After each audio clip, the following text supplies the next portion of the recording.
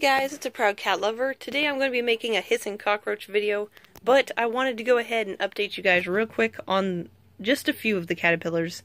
So I will say real quick, I only had three viceroy butterfly caterpillars that pupated. Um, none of the others made it. I'm not really sure if the leaves that I gave them from a cottonwood tree across the street killed them. I don't know if it had been treated with anything. It was the neighbor's tree, so I don't know. Um, I think that's what ended up killing them because before they were switched to the cottonwood when they were on the willow, they were doing just fine. And once they got switched, they were having problems and acting sick. And by the time I'd gone out to the lake and gotten some cottonwood leaves that I'd found out there and given them to them, it was too late and I wasn't able to save the others.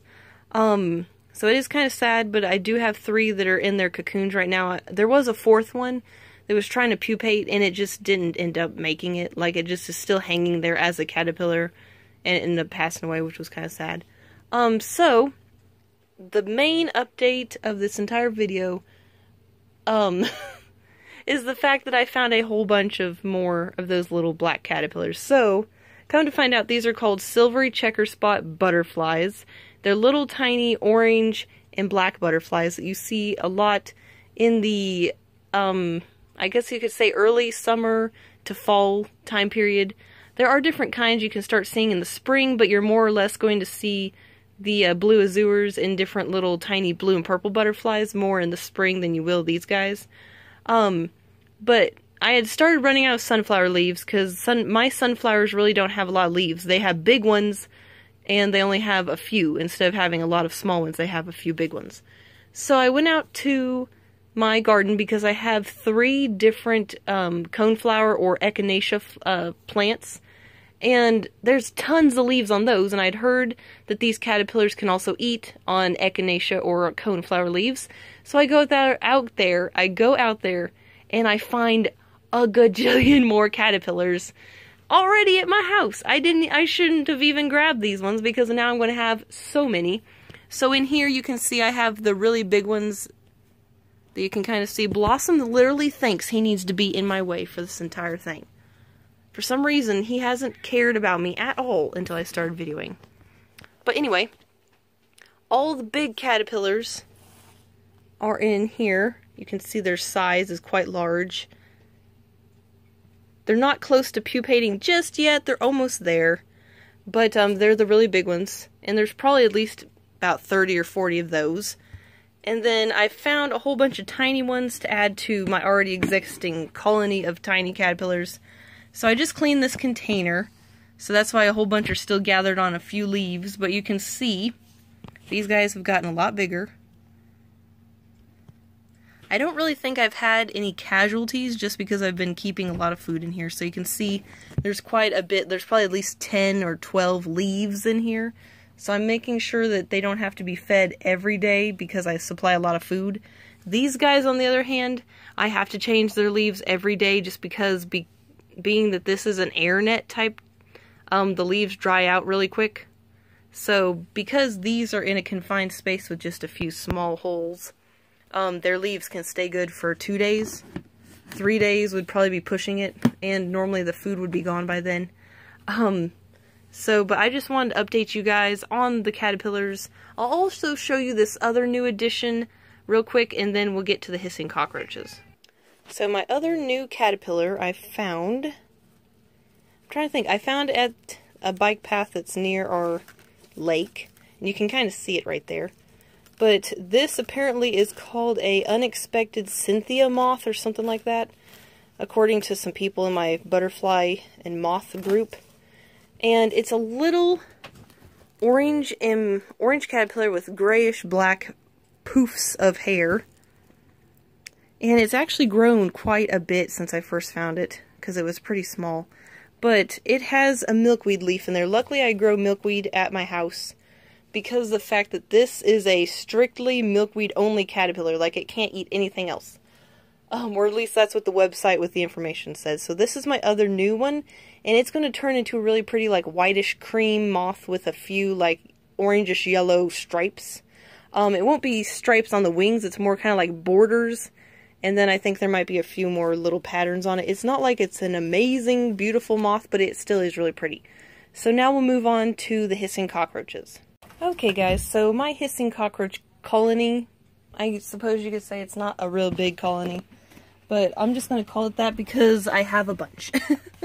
it's under 75, I do know that, just because um, I have had a few pass away, just because of, you know, oh wait, I have one other place I have hissing cockroaches, but I'll show these ones to you first. So first we're going to see the new additions. I have four new females.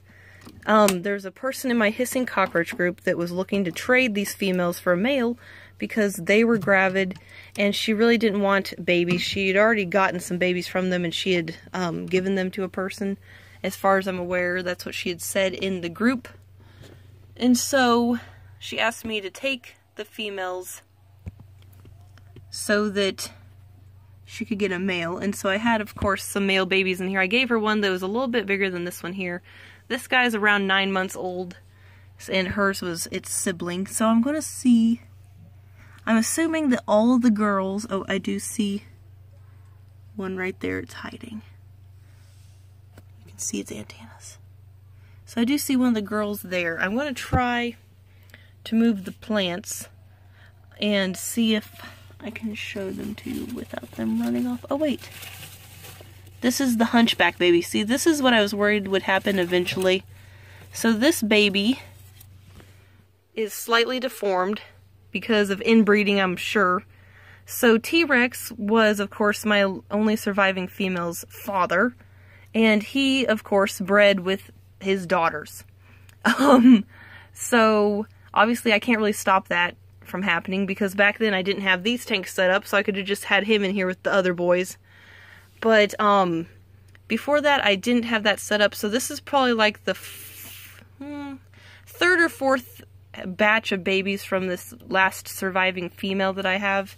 And so this one probably was from the second batch just because it's probably around five months old, somewhere in there, four or five months old. So this one was probably from the second or third batch of babies and it already is kind of showing deformities. So if it lives, it's just going to have to be a pet only. Depending on its gender, it definitely will have to be separated right away. So all the males are in here and all the females are in here. I did accidentally um, sex one of the females wrong and it was in here. I don't know if it's old enough to have babies yet because it's not very much bigger than this guy. But just in case, it is in a container with small mesh. So if it were to have babies somehow, um, the babies would not be able to escape this tank. But anyway, being that that was... Okay, I do see one of the females. She's back here, so she might run. Oh, she's going to hiss for us. Now, this might not be one of the new ones. Because that could be my female that I already have. Let me see. Okay, there she is. So the only way to tell is for me to pick it up.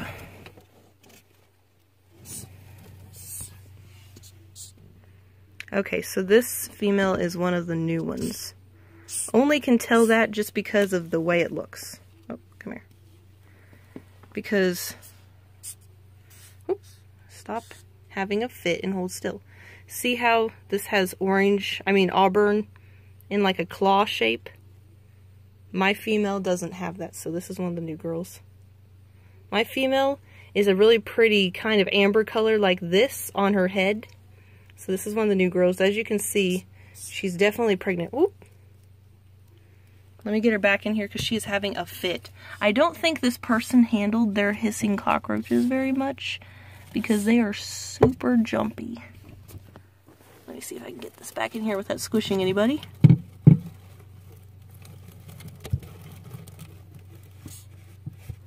Okay. Let's see who else I can find. So they're most likely going to be in the hot hide, I think. Let me lift up this one and make sure. Yeah. So let me pause this and investigate real quick. Okay, so it does look like we've got the other girls in here. You can see them. One of them is that dark amber color. My girl's in there. She is the really big one behind the dark colored one. And the other new one is in there too. I don't really know if I want to mess with them. Because I don't want to stress them out so much that uh, they abort the babies. But let me see if I can get my camera closer. Okay. So you can kind of see in there a little bit. You can see this very big girl. You can see my girl, which is... Actually, that might not be my girl. I can't tell. That fat one there might be her. That one looks like it's sleeping because it has its antennas back and that's normally what they do when they sleep. I will say real quick that the names of them, the dark one is Coco. The, uh, and then the three orange ones, just because you really can't tell them apart very easily, are Bloom, Sky, and, uh, Tangerine. Those are the three names I gave the girls. And of course, I'm pretty sure it's either Caramel or Mocha that is my female that's left out of the three girls because one of, well, actually, a couple of them have passed away this year so far. So, just I'm assuming from old age. And normally, females that breed don't live as long as females that are just pets. I will say that real quick because most hissing cockroaches should live to be around uh, three to four, maybe five years old. And my girls, I think, might be like two. But I can tell you right now, males are most of the time going to live longer um, especially if them if they're by themselves and if they're healthy, just because of the fact that females are having babies, so it pretty much kind of wears on their body, wears down their body and stuff. And so they don't normally live as long. Now, there might be some breeder females out there that live a long time. I personally don't have any. like Big Mama, I think lived to be three. I think is how old she was. And T-Rex was almost four years old. Because he lived a little bit longer than her. Um, I'm not going to mess with opening this one up because I have this on here and that to keep the cockroaches from getting out. Um, you can see that, uh, let me turn this off real quick. Let me see if you'll be able to see them or not because they always hide under the lip of this and they've kind of receded now because I was flashing like, oh, well, you can see them through here. Do you see their bodies? ah. This here, this orange, that's one roach. Here's another one. They get under the lip of this container here and they hide in there for some reason. They also have like this little secret tunnel that they have under the food dish. Actually looks like there's one in there right now. This black thing right there. Yeah, you see an antenna moving? That must be one of the bigger females. And there's some males in here. Now they're all hiding under those leaves back there, so I really can't show you very many of them. But that is the three main bunches, and I'm going to go ahead and turn this light off. I use my slime containers to hold the top down so that the roaches can't push this and escape. So anyway, we'll go visit the last area where I have roaches, and then we'll be done with our little update. Okay, so here on the rack system is my last container. Now these are ones that are too young to be able to tell the gender. So let me move this plant real quick. Okay. So you can see one of them is over here. Actually looks like there's two there. And they have a dish with romaine lettuce and carrots. There always seems to be some hiding up here at the top and there's like a bunch of poop on there.